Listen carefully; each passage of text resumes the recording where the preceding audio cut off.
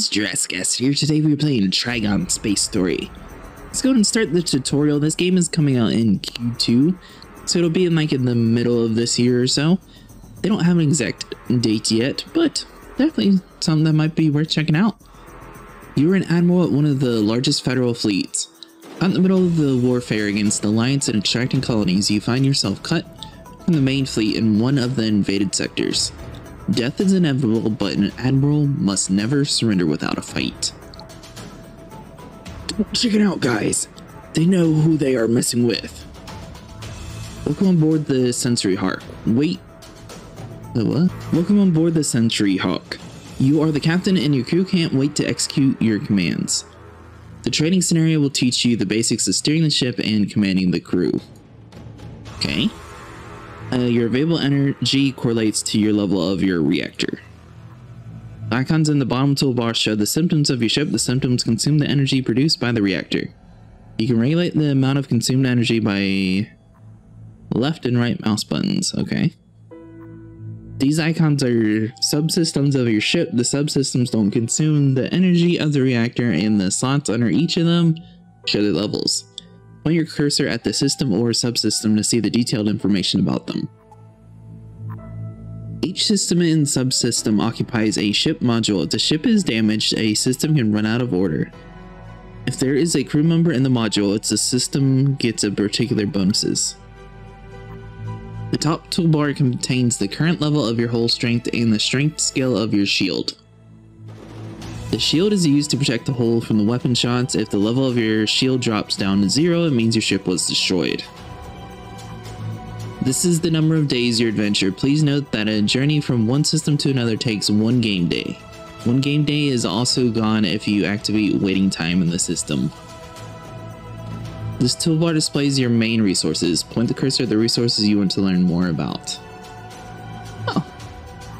That's pretty cool. It's not uh, too in your face, but it just, you know, sort of adds it over there. That's, I like that. You shouldn't stay here too long. You must fly on. To do this, you need to turn on hyperdrives. Use your left mouse button to click on the hyperdrive system icon and redistribute the energy from the reactor to the hyperdrive system. A short circuit has damaged the hyperdrive. The system cannot turn on. It is blah blah. The hull of your ship will get some damage too if a missile hits its already broken system. Your crew can repair the hyperdrive. To make this happen, choose a unit by left clicking on him and select the unit. Okay. So you go there. Uh, you there. There we go. So Yulia's to go over there into repair mode. Your units will automatically repair the systems, extinguish the fire, seal the holes, and fight the wrongdoers at the same module. Now you're tasked to repair the hyperdrive. By the way, about the crew, each crew member is unique and has their own weaks and strong points. Select a unit from the side menu to learn the unit specialization characteristics. Okay. The unit characters can be found in the upper part of the toolbar. They include the following parameters speed of movement, damage to modules, damage to other units, the amount of oxygen consumed, the amount of oxygen supplied, consumed, and speed of repairs.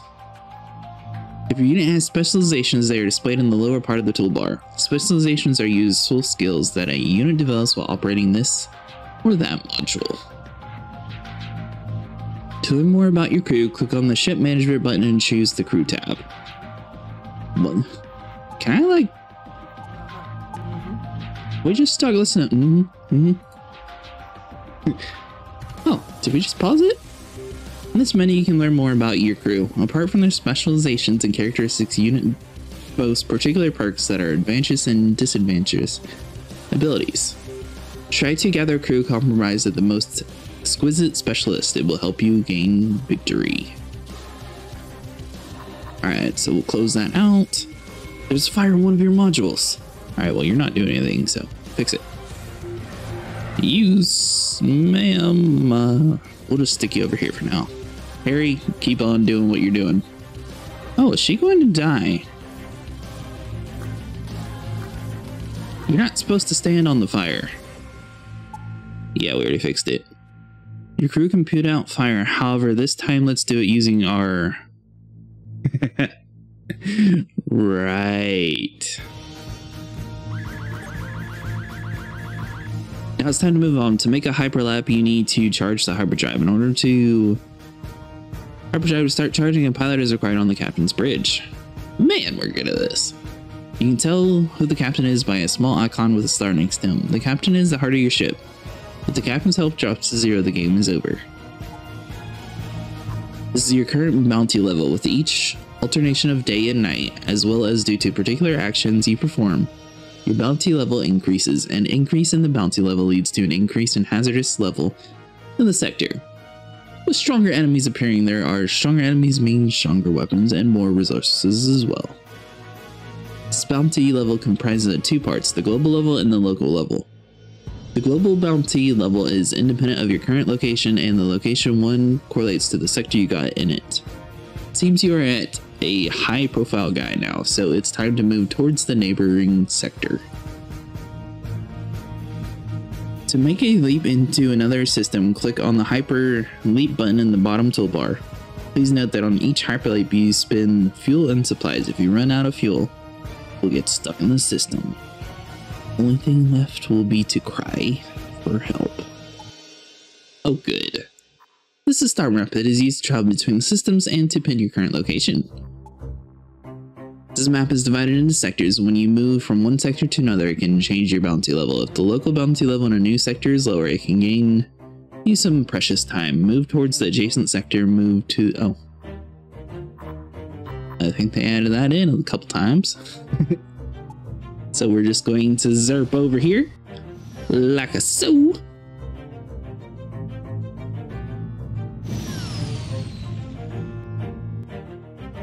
Upon arriving to the system, you notice an alliance ship that is cut adrift from the main fleet. Despite the strong superiority of your ship, the weapons, and probably even the crew, it decides to attack you. Blue options will be available to you if you have a particular perks, weapons, or upgrades. As a rule, they always lead to positive outcomes. Huh?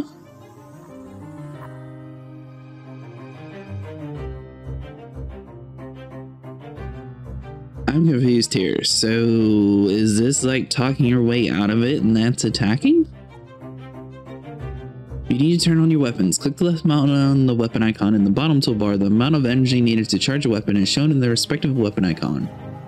You can also turn the weapon off by clicking the right mouse button on the icon. Click the left mouse button on the turned on weapon and use the same mouse button to choose the module in the enemy ship you would like to fire at. Each weapon takes time to get ready to release the weapon and make a short shot as it's ready. Do that, and do something like that. Tactical pause control buttons are located in the top right corner of the screen, but there is also a space button for the convenience now and pause the game. Wait for your weapons to load and make a shot. I think I heard something. Oh, really? Thank you, Harry. uh, what? Great, now teach the bastards how to fight and destroy the ship. Would you just get out of that stupid room before you guys suffocate? uh, this looks like the infirmary, so maybe she'll heal here? Oh, yeah. Alright, so you're doing that. This guy where did I mean defense? I assume uh so I assume this is attack, maybe that's healing and that's defensive. So if we have you and put you into the defensive, do the attack. Do you want to attack in the same place again? Apparently we do. nice! Your weapons and your crew help you turn the enemy ship into space junk. Luckily, the items from your cargo hold and some weapons of the ship remain intact. You take the most valuable pieces on their intact weapons and get ready to move on. Your weapons, uh, blah, blah, we already read that. 150 scrap. Under rocket launcher. Laser cutter. You got some new weapons. Please note that they do not equip the ship automatically. To install them, you need to put them into your weapon slots. Click on the ship management. Click on over here. Drag and drop, like a so, bam. In this window, you can upgrade your systems and reactor, increase the capacity of your cargo hold, and repair your ship. To make any of these actions, you need a particular amount of scrap metal. Upgrade your armory module and your reactor to continue. Click accept once you are done. Bam! Remember to turn on your guns before jumping. Wait, what?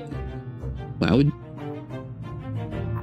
Remember to turn on your guns before jumping. Please note that the weapons have different capabilities and characteristics. For example, your rocket launcher needs ammunition to make shots at the same time. It can penetrate enemy ships.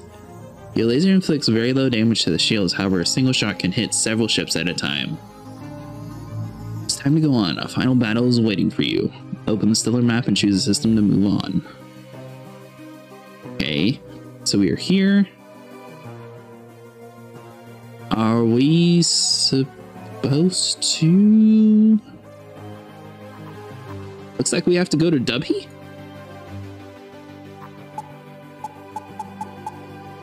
Um... Is that a negative?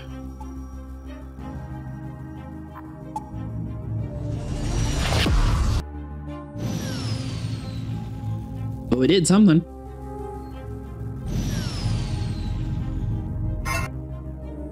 It's time to demonstrate what you learned. Show that the Federation never surrenders without a fight. Let's have a blast and go big. If it's our last time, guys. Alright, so we want all weapons on. Uh, let's see here. Are we only able to do one weapon at a time? And let's see here. So they got